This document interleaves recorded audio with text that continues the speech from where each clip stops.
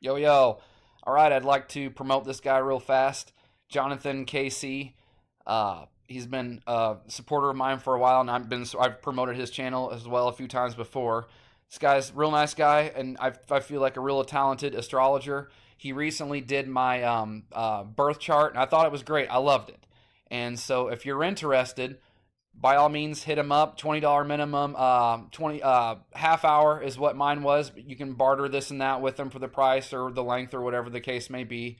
But i really liked it and it's pretty fun man. It's pretty amazing to i've never met this guy and for him to go in a half hour and be like oh because you have this there and that there you're this this and this. And even my wife has watched this with me a couple times. It's jaw dropping i mean it's just incredible how it's like very perceptive. And it's like holy shit it's like you really have met me before. It's crazy. So if you're interested, please hit him up. Now, I want to show you something since we're talking about stars and planets. Absolutely mind blowing, fascinating to me. So let's start with this. All right. The sun is weakening in the sense that its magnetic hold on everything is it's it's weakening its magnetic hold on the solar system. And say what you want about the planets, the stars, the magnetic fields, all this stuff you can go out. I've seen it with my own eyes. I've seen the moon do literal cartwheels in the sky. I have. That's my own experience, though. So something very strange is going on. And it says because the sun's magnetic dy- dynamo is weakening, its magnetic hold on the solar system is weakening. But you have an, an insane uh, uptick and record breaking, not predicted rise in solar uh, irradiance and these cosmic rays. But these don't come from the sun; they come through the sun. The cosmic rays come from the, what they call the galactic center that come through the sun.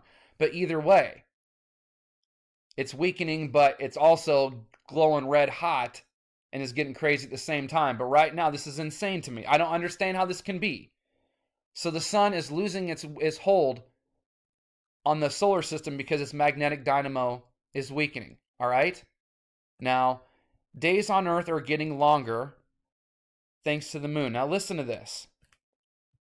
The moon is about four and a half billion years old, blah, blah, blah. The natural satellite slowly spirals away from Earth at a rate of about 1.5 inches per year, causing our planet to rotate more slowly around its axis. So they're saying the days are getting longer because the moon, did you hear that? Is drifting away at 1.5 inches a year now. So, in under a decade, this thing's going to be over a foot away. How is that not going to have profound impact? And as you can clearly see, how is the weather doing? This place is shaking and it's it's insane. Now, here's what I don't understand. So, if the if the sun's magnetic uh, hold is weakening, and the moon is drifting away at an alarming 1.5 inches a year, which is going to cause our days to get longer, which means they're going to add another month to the calendar, just like they did in The Simpsons. It's 13. They called it Smarch. In Labyrinth, they have, there were 13 hours on a clock because we have 12 signs, so 12 months. And they're talking about Ophiuchus, the 13th sign, getting added now all of a sudden because time and space is going to change whenever this big calamity happens.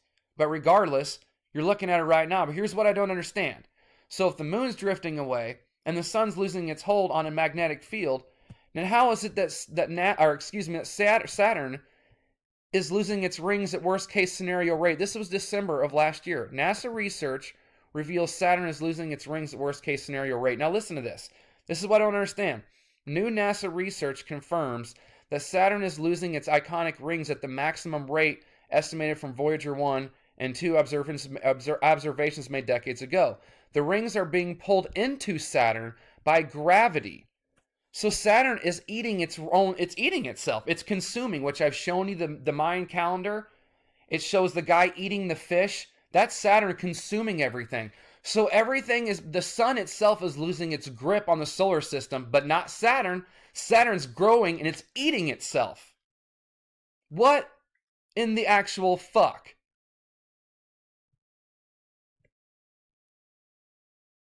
And that's the story. Saturn eats its own kids. And here's the thing, right?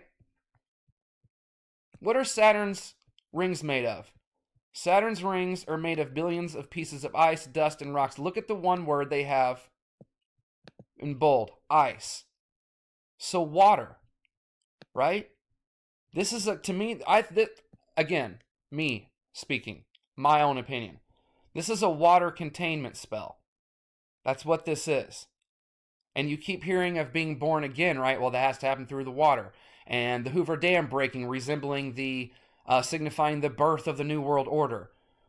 These things are falling, or they're, they're Saturn is eating them at a, at a intense, picking, not predicted rate. It's worst case scenario, just like the cosmic rays coming in at a rate we never could have predicted. The magnetic pole drifting at a rate we never could have pre- predicted. And all these things, alarming rates. Great job, science. Great job. Way to go.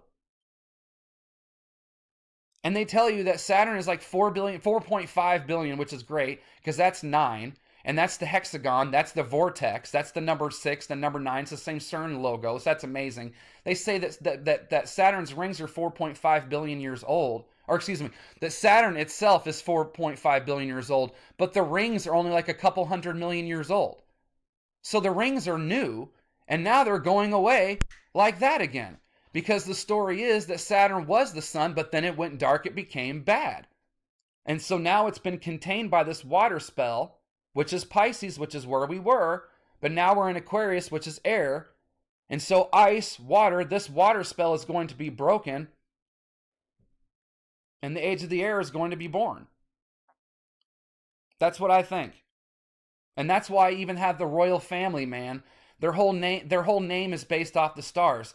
They used to be called Wettin, the House of Wettin, but then they're German. They're not British. They're German. But since the Germans, they had there was such an anti-German sentiment after World War One that they changed their name to Windsor to escape their German heritage. So look that up. If you don't know that, look that up. The royal family is German. That's why they have pictures and videos of, of Queen Elizabeth and Prince Charles doing the Sieg Heil. Look that up. There's pictures and videos of that. That comes out every now and then. The news puts it out every now and then. That's all legitimate. And they try, you know, they, oh yeah, well, we're not, you know, they try to explain it away, this, that, and the other. But that's why they're caught doing that shit, because that's what they do. And they're even Prince Charles or whatever the hell he even says we're descendants of Vlad the Impaler. They're and they even have they're cannibals. That even the news has even reported that. I'm getting off track. But anyway, they changed their name from Wettin to Windsor, Pisces to Aquarius. Wettin, water, Pisces, Windsor, air, Aquarius. So how? Seriously. How is it that the sun is losing its its hold on magnetically on that solar system, but Saturn's is getting stronger and it's literally eating itself? How is that possible? How is a magnetic pole moving so quickly? How is the moon drifting at one and a half inches away a year now? These are not just small. Now I'll go back to watching Facebook and not even think about this shit, guys. Like seriously, you have that you have that story that just came out about the magnetic pole literally screaming away from where it should be. And then a few months before this, you have the the entire globe was rocked by this seismic wave on 1111 that no one knows what the hell happened for 20 minutes. These cosmic rays are coming in so hot, they're coming in through the Arctic ice. Can you guys not see what's happening? My phone's going off. Gotta go.